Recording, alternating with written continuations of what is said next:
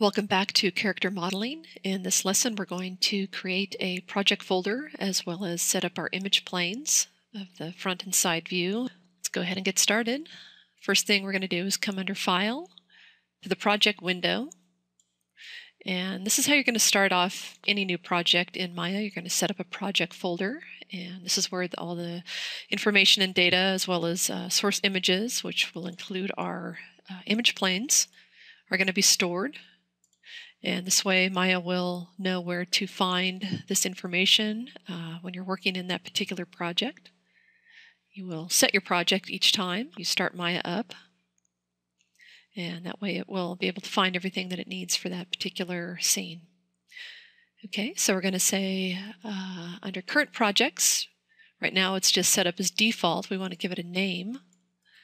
So I'm going to call this Geek Model and I'm going to put the location into my Documents Maya Projects folder.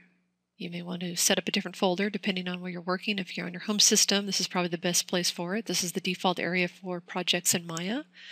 If you're working on a computer that's not yours in a, a lab of some sort, uh, you might want to save it on the desktop or a external hard drive.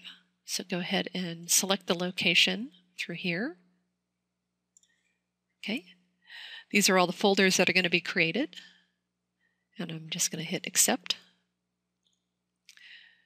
And out here, we can see that. There it is right there. These are my other projects I have. So there's my Geek model. If I go in there, those are all the folders that were created by Maya. I'm going to come into my source images directory.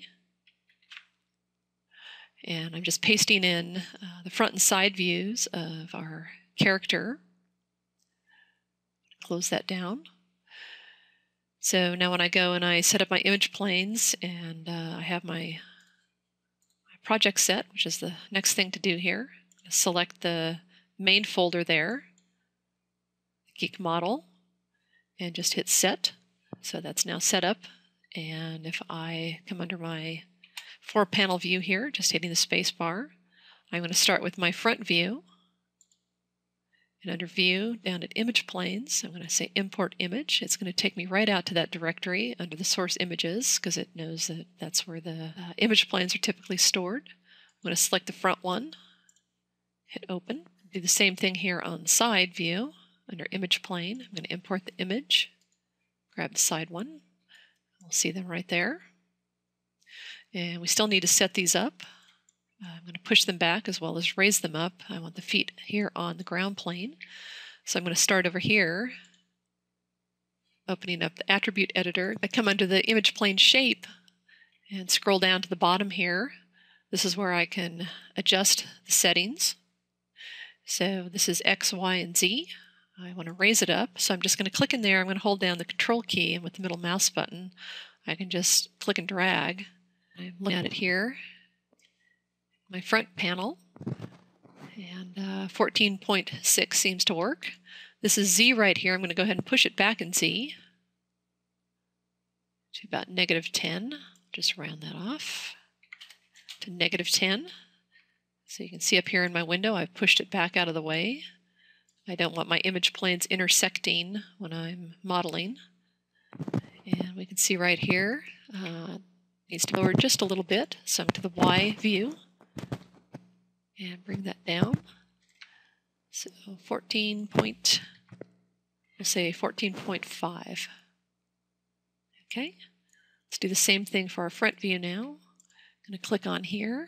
I'm going to open up the attributes for the side view now and do the same thing. So we should be able to put in 14.5. And we'll just check that in a moment. We're going to push it back in X now, so I'll put a negative 10 in there. And we can see that up here now. And it is resting on the bottom the same way. Okay.